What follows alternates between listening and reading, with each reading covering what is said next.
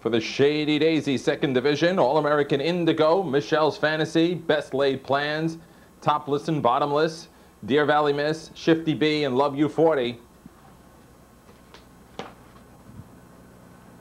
are all making their way to the gate, and the gate's on the turn.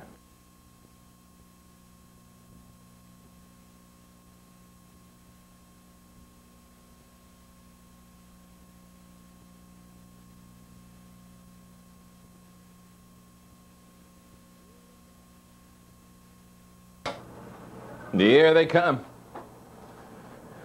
And they're off.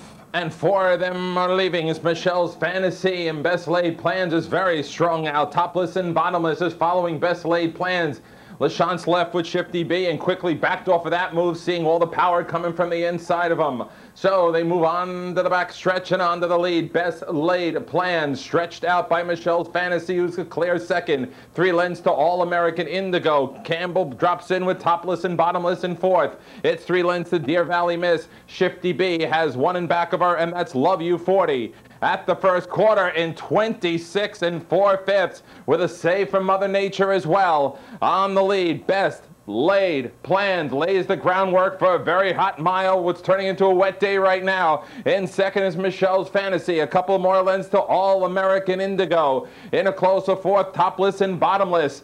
Fifth, Deer Valley Miss. Shifty B is good to go and a chauffeur to the outside to follow Deer Valley Miss. And Love You 40 is chiming in as well. At the half in 56 seconds flat. The record books are still open. Whose name will fill in as part winner of the Shady Daisy this year? It is Best Laid Plans on our way so far. A length and a half to the good. Michelle's Fantasy is second. Deer Valley Miss is straining on the outside. Shifty B is going to need a power kick to get it done because Deer Valley Miss is not hitting a gear anymore. On the inside, All American Indigo. Three quarters, one, 24 and two. Best Laid Plans has brought a best race with her, and she is flying high with a wing on every hoof.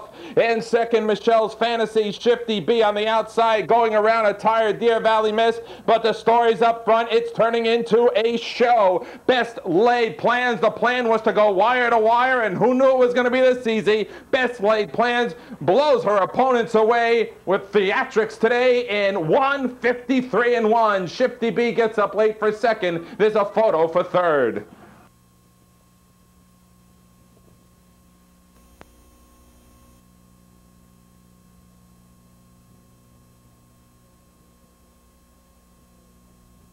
And back to the winner's circle. It's not nice to fool with Mother Nature, so we'll get through this quick. Three best laid plans. Brilliant winner today, a three-year-old daughter of Cambest out of Wendy Ann Hanover by Big Towner. For John Gorshak III out of Warwick, New York, trained to the T by Monte Gelrod. And putting on a show today with Luc Ouellette in stakes record time, track equaling time for three-year-old pacing fillies of 153 and 1.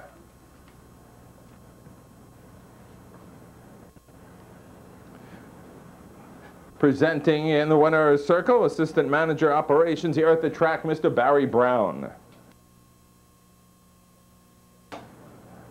Coming up next, $170,000 on the line for two-year-old Colton Geldings for the eight of them go postward. It'll be a short post parade. Post time in 13 minutes at 3.30.